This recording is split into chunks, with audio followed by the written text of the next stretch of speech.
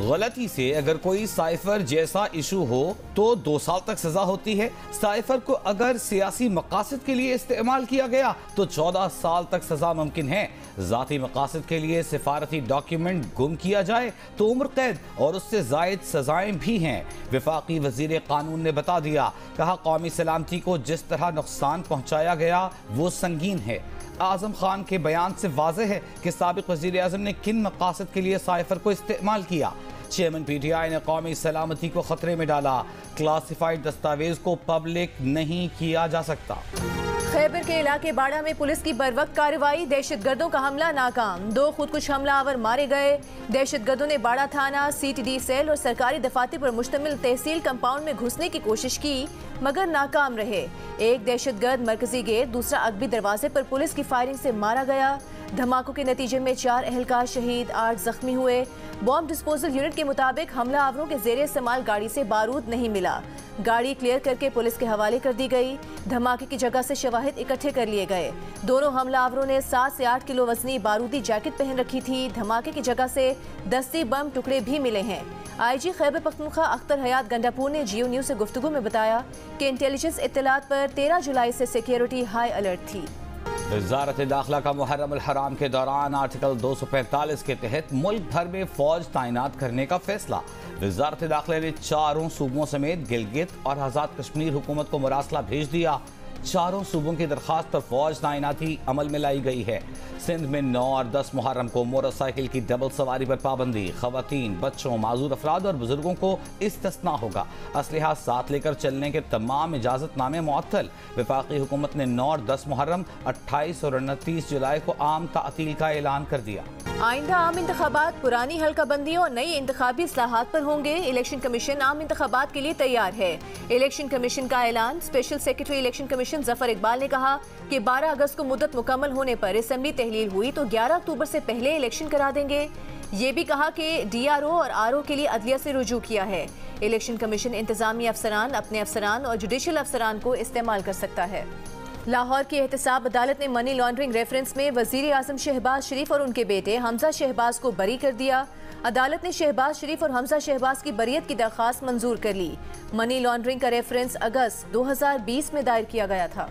तोशा खाना केस में दो गवाहों ने अदालत में बयान रिकॉर्ड करा दिए। तहरीक इंसाफ के चेयरमैन के वकील ख्वाजा हारिस का इतराज, कहा इलेक्शन कमीशन के वकील गवाह को खुद बयान पढ़ा रहे हैं। वकील इलेक्शन कमीशन अमजद परवेज ने इतराजात के जवाब जमा करा दिए। कहा, गवाहान ने अपनी मर्ज़ी से बयान कलम बंद कराए, उन पर कोई दबाव नहीं था। दौरान समात ख्वाजा हारिस ने कहा कि गवाह ने चेयरमैन पी टी आई की मौजूदगी में बैंक स्टेटमेंट्स तश्कील नहीं थी। जज हुमायूं दिलावर ने रिमार्क्स दिए, जिराह करें आज। मैं तो कहता हूँ आज जिरह करें। तहरीक इंसाफ के वकील ने कहा, पीर को जिरह कर लें। हम चाहते हैं ताज़ा दम होकर आएँ। जज ने टाइपिस्ट को दोनों गवाहान के बयान का प्रिंट निकालने का कहा। टाइपिस्ट ने कॉज लिस्ट के प्रिंट निकाल दिए। जज हुमायूं दिलावर बरहम कहा, भाई, मैंने गवाहान का प्रिंट मांगा है। कॉज लिस्ट क्या करनी है? पीटीवी देखें, ना देखें, रेडियो पाकिस्तान सुने, ना सुने, फ़ीस भरना पड़ेगी। वसूली उस बिल से होगी जो लाजमी भरना है, यानी बिजली के बिल से। वजारत खजाना ने बिजली के बिल में पीटीवी की फ़ीस के पैंतीस रुपयों के साथ रेडियो के पंद्रह रुपए भी लगा दिए। अब बिल जितना भी हो, पचास रुपए उस पर बढ़ा लें और सरकारी टीवी और सरकारी रेडियो को फरोख दें। इस्लामाबाद हाई कोर्ट ने अरबों रुपए के सुपर टैक्स के निफाज को गैर आईनी करार दे दिया। अदालत ने इनकम टैक्स ऑर्डिनेंस के सेक्शन चार सी को भी गैर आईनी करार दे दिया। इनकम टैक्स ऑर्डिनेंस के सेक्शन चार सी को गैर आइनी करार देने से मुतल दरख्वास्त की समात इस्लामाबाद हाई कोर्ट में हुई। अदालत ने हुकूमत की जानब से सुपर टैक्स इकट्ठा करना, गैर कानूनी करार देकर सुपर टैक्स से मुतल डिमांड और रिकवरी के तमाम नोटिस का अदम कर दिए। अदालत ने सेक्शन फोर सी से मुतल तफसीली फैसले में वजाहत भी कर दी। डिस्कोस के मई के फ्यूल एडजस्टमेंट की मद में एक रुपये नब्बे पैसे फ़ी यूनिट इजाफे की मंजूरी। सी पी पी ए जी ने दो रुपये पाँच पैसे फ़ी यूनिट इजाफे की दरख्वास्त की थी। फ़ी यूनिट इजाफे का इतलाक सिर्फ़ जुलाई के बिल्स पर होगा, कीमतों का इतलाक के इलेक्ट्रिक सार्फिन पर नहीं होगा। कराची के सार्फिन के लिए मई की एडजस्टमेंट एक रुपये चवालीस पैसे फ़ी यूनिट बिजली महँगी की जा चुकी है। के इलेक्ट्रिक के लाइसेंस में छह माह की अबूरी तोसी कर दी गई। के इलेक्ट्रिक के लाइसेंस की 20 साल मुद्दत आज खत्म हो रही है। के इलेक्ट्रिक ने लाइसेंस में मजीद 20 साल तजदीद की दरखास्त की थी। नेपरा का कहना है कि अवामी समात के बाद लाइसेंस की तजदीद से मुतल तयन किया जाएगा। के इलेक्ट्रिक के लाइसेंस में छह माह तोसुई का अबूरी रिलीफ दिया गया है। पंजाब में एक और मोटरवे बनने जा रही है। सिंध में एक भी नहीं है। कराची हैदराबाद मोटरवे नहीं एक्सप्रेसवे है। जीडीए के रुकन आरिफ चतोई की सिंध असेंबली में तकरीर, कहा पीपल्स पार्टी सिंध में एक भी मोटरवे नहीं बना सकी। जो सकर हैदराबाद पहला मोटरवे बनना था, वो भी करप्शन की नज़र हो गया। सिंध के तमाम बल्दियाती इदारों में पीपल्स पार्टी की हुकूमत बनने के बाद बल्दियाती इदारों और उनके सरबराहों को बाख्तियार बनाने का बिल सिंध असेंबली में पेश। सिंध काबीना ने कुल वसाइल की तकसीम के प्रोविंशियल फाइनेंस कमीशन की मंजूरी दी, जो फाइनेंस कमीशन पिछले पंद्रह साल अवार्ड नहीं किया गया। इस बार मौजूदा हुकूमत के खात्मे से पहले पहले अवार्ड करने का फैसला। वज़ीर पार्लिमानी अमूर मुकेश चावला के सिंध असम्बली में पेश किए गए बिल के तहत सिंध के तमाम मेयर्स और चेयरमैन मुतल डिवीज़न और अजला में डेवलपमेंट अथॉरिटी के चेयरमैन होंगे। मेयर कराची के डी एल डी ए और एम डी ए के अलावा वाटर एंड सीवरेज बोर्ड का चेयरमैन होगा।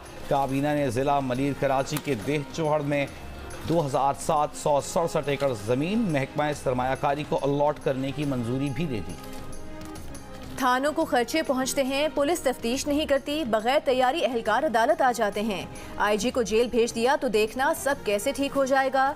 इकदाम कत्ल के केस में नाकिस तफ्तीश पर इस्लामाबाद हाई कोर्ट के जस्टिस तारिक जहांगीरी बरहम कहा, आईजी को लिख लिख कर थक गए, तफ्तीश दुरुस्त नहीं होती। अब तोहन अदालत की कार्रवाई की जाएगी।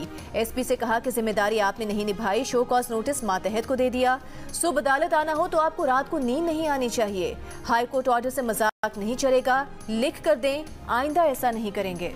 यूक्रेन के वज़ीर खारजा की पाकिस्तान आमद। वज़ीर खारजा बिलावल भुट्टो जरदारी ने खुश आमदीद कहा। दोनों रहनुमाओं की मुश्तर प्रेस कॉन्फ्रेंस। बिलावल भुट्टो जरदारी ने कहा, रूस और यूक्रेन का मसला बातचीत से हल किया जाए, पाकिस्तान खत्े में अमन चाहता है। यूक्रेन के साथ दो तरफा ताल्लुक और मुख्तलिफ़ शोबों में ताउन बढ़ाना चाहते हैं। यूक्रेन के वज़ीर खारजा ने कहा कि आलमी मार्केट में यूक्रेनी एशिया की रसाई को आसान बनाया जाए। सलामती और खुद मुख्तारी की हिमायत पर पाकिस्तान का शुक्रिया अदा करते हैं। असद उमर का साइफर तहकीकात के लिए एफ़ आई ए में पेश होने का ऐलान। कहा एफ़ आई ए ने उन्हें और शाह महमूद कुरैशी को 24 जुलाई को बुलाया है, जाएँगे और हकाइक बताएँगे। आज़म खान के बयान पर बोले, एक सौ चौंसठ के बयान में कानूनी लिहाज से कुछ खास नज़र नहीं आया। नई पार्टी से मुतालिक सवाल पर असद उमर ने कहा कि पार्टियाँ आवाम बनाते हैं वही चलाते हैं। किसी पार्टी का फैसला कोई दूसरा नहीं, सिर्फ़ आवाम कर सकते हैं। परवेज खटक एक तजुर्बेकार सियासतदान है, मगर अब देखते हैं कि उन्हें क्या कामयाबी मिलती है। साइफर के मामले पर एफआईए ने चेयरमैन पीटीआई को 25 जुलाई को तलब कर रखा है। नोटिस में चेयरमैन पीटीआई को मुतालिका दस्तावेजात और शवाहिद साथ लाने की हिदायत की गई है। सेक्रेटरी इतलात पीटीआई खैबर पख्तूनख्वा बैरिस्टर सैफ ने कहा है कि सुप्रीम कोर्ट साइफर के मामले की तहकीकात करे। तमाम हरबे नाकाम होने के बाद साइफर को बुनियाद बनाकर चेयरमैन पीटीआई के खिलाफ साजिश की जा रही है।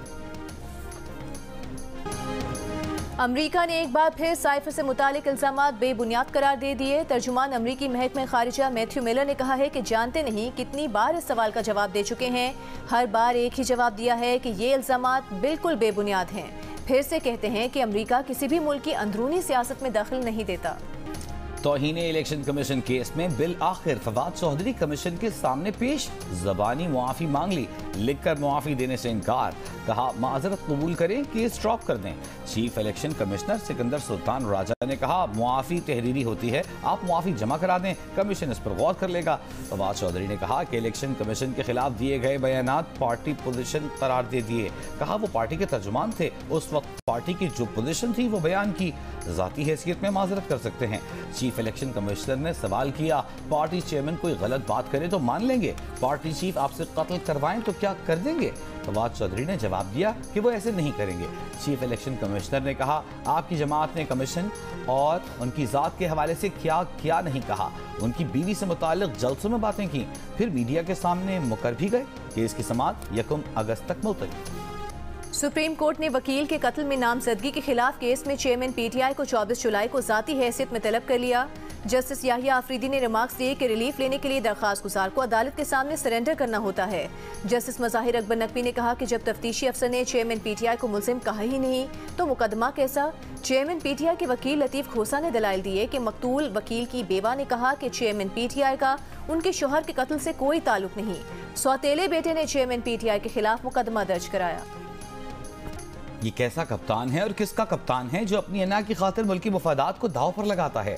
पहले अमेरिका पर साइफर साजिश का इल्ज़ाम लगाता है, फिर उसी अमेरिका से अपने लिए लॉबिंग करने की भीख मानता सुनाई देता है। वज़ीर ममलिकत पेट्रोलियम मुसद्दक मलिक की चेयरमैन पी टी आई पर तनकीद।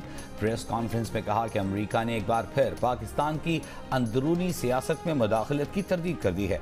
आज़म खान ने मजिस्ट्रेट के सामने जो बयान दिया उससे चेयरमैन पी टी आई के जराइम साबित होते हैं। सबका दौर में वज़ीर आज़म हाउस घिनौनी साजिशों का गढ़ बना रहा। आज़म खान का बयान हकाइक वाजे करने के लिए काफ़ी है।